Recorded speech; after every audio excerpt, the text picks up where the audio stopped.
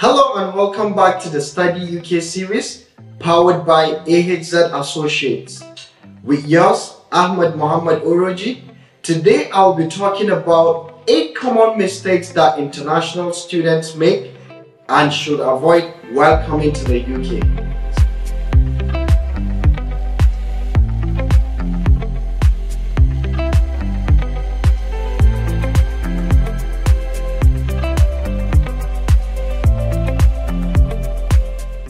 All international students in the UK have the opportunity to be involved in a different culture.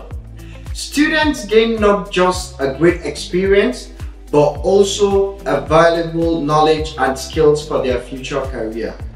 As a result, every student should make the most of their international study experience. So let's go deep into the 8 common mistakes made by international students and you should avoid if you're planning to study at a UK university. Number one, managing time efficiently. The application process takes a long time to finish in the UK, so it is very important to complete your application on time to avoid frustrations and missing deadlines. Note that application dates are from October to January and that you should apply to UCAS, Universities and College Admission Services in the UK or AHZ, which is a trusted UK university representative as it will ease the stress of applying and also prevents you from making mistakes in your application. Also, make sure that you have all the relevant English language requirements such as IELTS, and PTE academics amongst others. Secondly, language and knowledge barriers. It is important to gather all necessary information about your host country before you travel. It will help you focus on what to do and what not to do, as well as prepare for the new change and know what to expect in your institution, the location where you'll be living, and the transit systems as well. Make sure you are able to speak and understand English as it's the country's language. You don't have to be fluent, but you can make friends that speak fluently when you come over here and learn as more as you can with time. Thirdly, poor preparation for classes. Most universities use a variety of lectures, seminars, and tutorials to engage their students.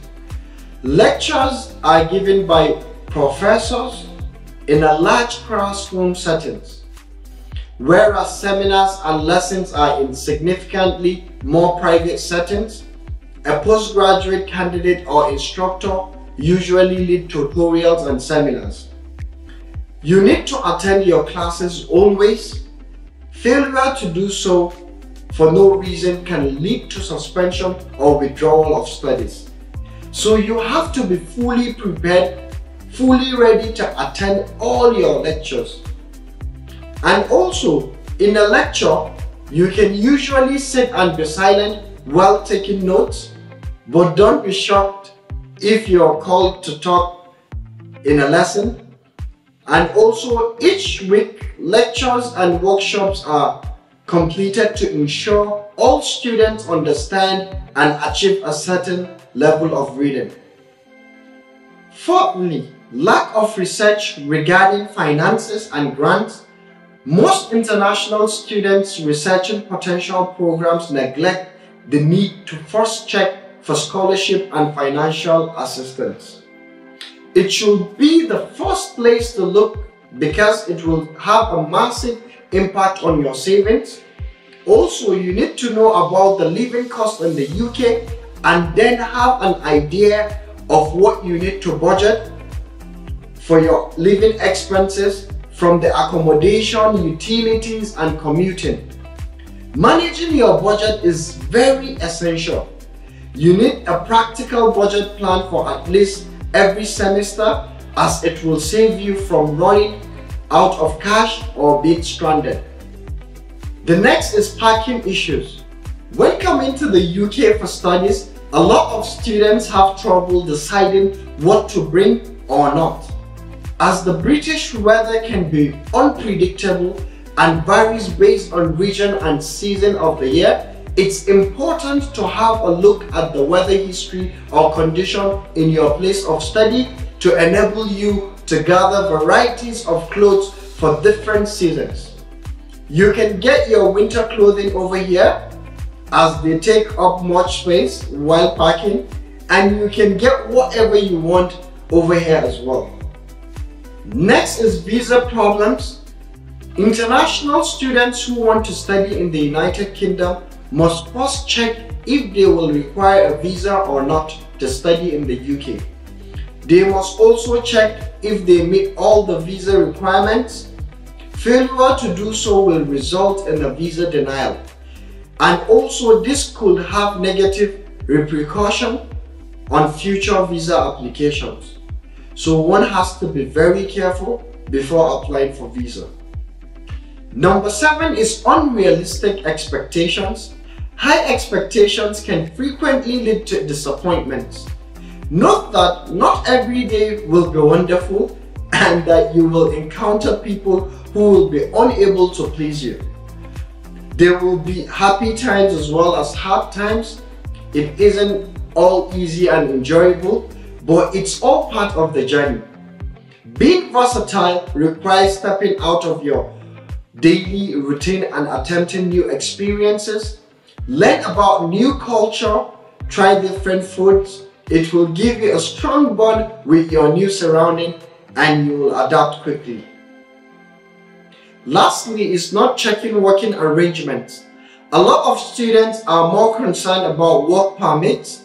If you want to work while studying, you will only be permitted to work part-time and usually for limited hours, depending on the type of the visa you have there are a lot of details to consider as you might be limited to working on campus with the institution as your workplace. You can also apply for a post-study work visa after your studies, but you might not be able to work if specific standards aren't completed. So you have to check all these requirements to be sure that you're good to go. It is always wise to be mindful of what might happen and be prepared. Always ensure you're fully committed when applying for studies internationally. At times you get swept up by what others encourage you to do rather than considering what you genuinely desire. I hope you avoid making such mistakes and don't hesitate to contact us our consultants are ready to advise, guide and support you through your application and your career dream process. I wish you best of luck. Thank you for your time. Don't forget to like, share and subscribe. See you soon in the next episode. Thank you. Find out more at ahzassociates.co.uk.